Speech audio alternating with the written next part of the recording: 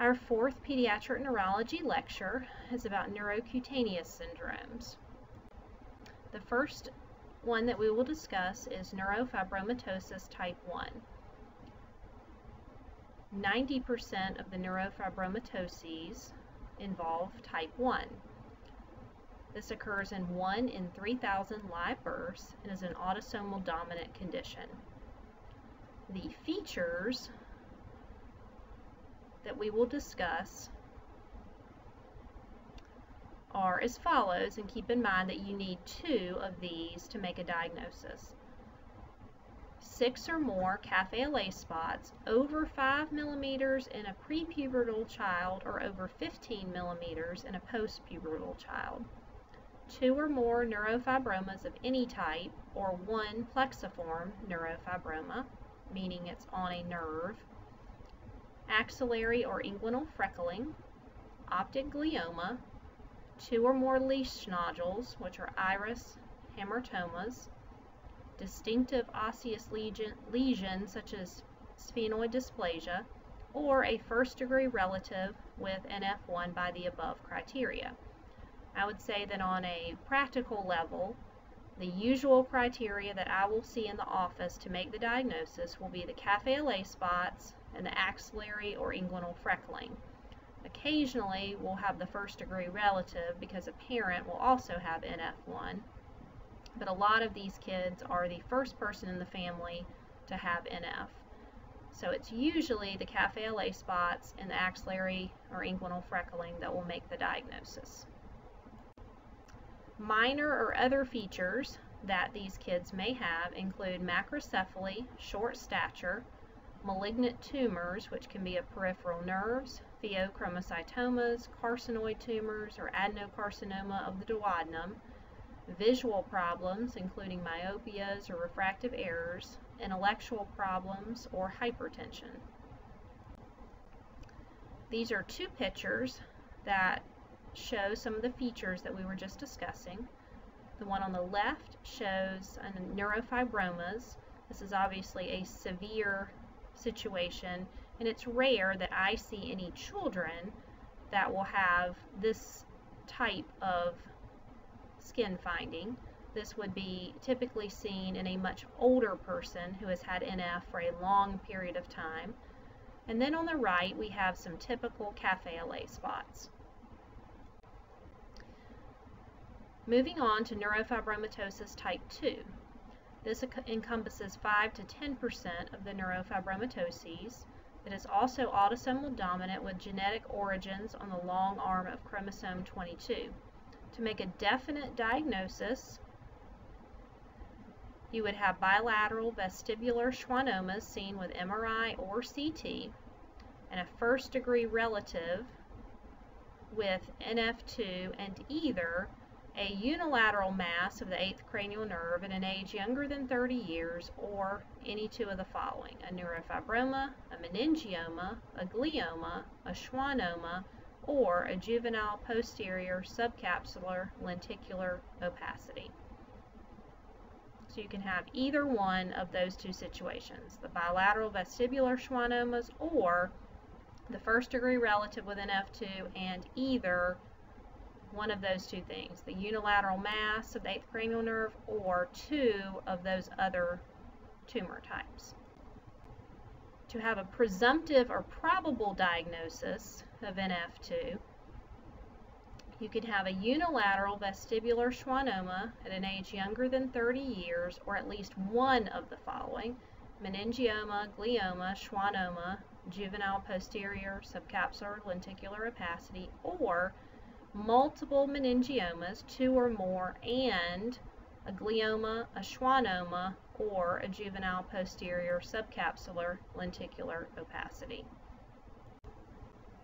This is an MRI showing what a schwannoma looks like. You can see that white mass coming there on the eighth cranial nerve. The next neurocutaneous syndrome that we're going to talk about is Sturge-Weber syndrome. Features of this syndrome include a facial capillary malformation, more, more commonly known as a port wine birthmark, They have abnormal blood vessels on the brain surface called a leptomeningeal angioma.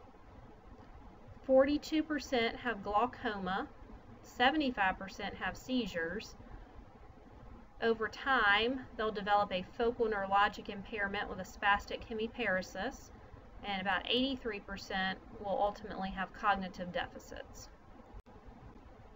Evaluation for Sturge-Weber, CT is superior to MRI for demonstrating intracranial calcifications, but the MRI is helpful for demonstrating leptomeningeal angiomas and atrophy. So both can be useful uh, in this condition. Treatment Seizure medications such as Keppra, Trileptal, and Topamax can be useful for seizure control.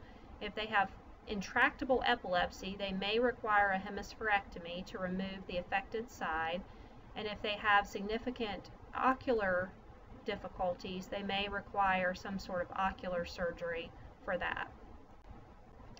Uh, these are two pictures showing features of Sturge-Weber. The baby on the left shows the typical uh, facial feature with the port wine birthmark. And on the right, you can see the typical brain findings that we discussed before. We're now going to talk about tuberous sclerosis, which occurs in 1 in 6,000 to 1 in 10,000 individuals. It is an autosomal dominant condition with two loci on chromosomes 9 and 16. The diagnostic criteria include major features, which include hypomelanotic macules, needing greater than or equal to 3, at least 5 millimeters in diameter, angiofibromas greater than or equal to 3, or fibrous cephalic plaque, ungual fibromas on the fingernails greater than or equal to 2, a shagreen patch found on the back, multiple retinal hamartomas, cortical dysplasias, which include both tubers and cerebral white matter radial migration lines, subependymal nodules, subependymal giant cell astrocytomas, cardiac rhabdomyomas, lymphangioliomyomatosis, abbreviated LAM, and angiomyolipomas greater than or equal to 2.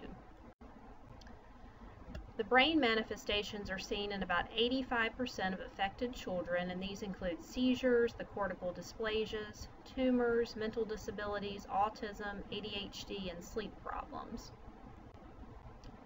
Minor features that occur include, quote, confetti skin lesions, dental enamel pits, intraoral fibromas, light patches on the retina, renal cyst, and non-renal hamartomas.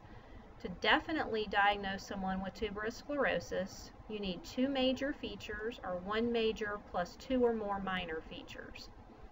To diagnose possible tuberous sclerosis, you need one major feature or two or more minor features. Here's some pictures.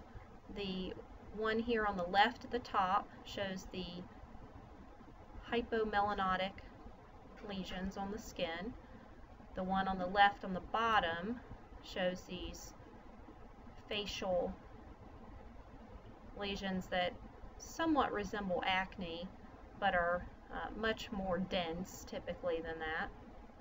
And then over here on the right we have a subependymal giant cell astrocytoma.